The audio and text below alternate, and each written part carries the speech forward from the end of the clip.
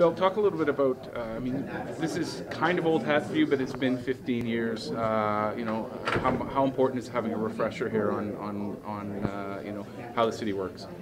Well, that's important, um, but I think any opportunity to just be together as a group, for me, that's the bigger value proposition for me today.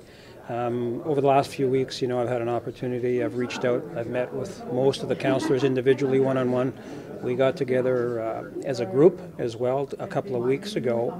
And so I think it's important for us as a group, in, in, addition to what a lot of the people are learning, which is new to many of them, just to be able to get together, spend some time together, and, and try and sort of create the narrative and see where we're going to go over the next four years. How's the dynamic so far?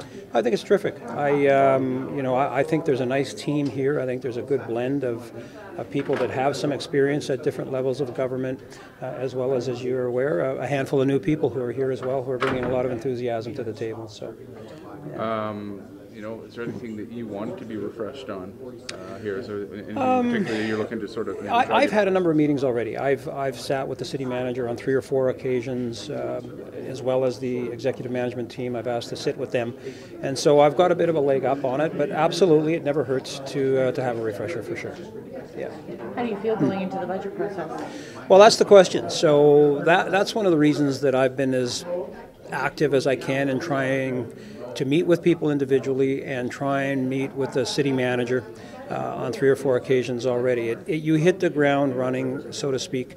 Uh, the major decision is right in front of you um, as a new group. Um, so that will begin immediately post New Year's. And so for me, what I've said to people is I think that the first four months really will define us over the next four years in terms of what we will look like we're willing to spend some time on and what changes, if any, we think are necessary to be made. And so, um, yeah, you, you are really faced with some important decisions right off the hop for sure.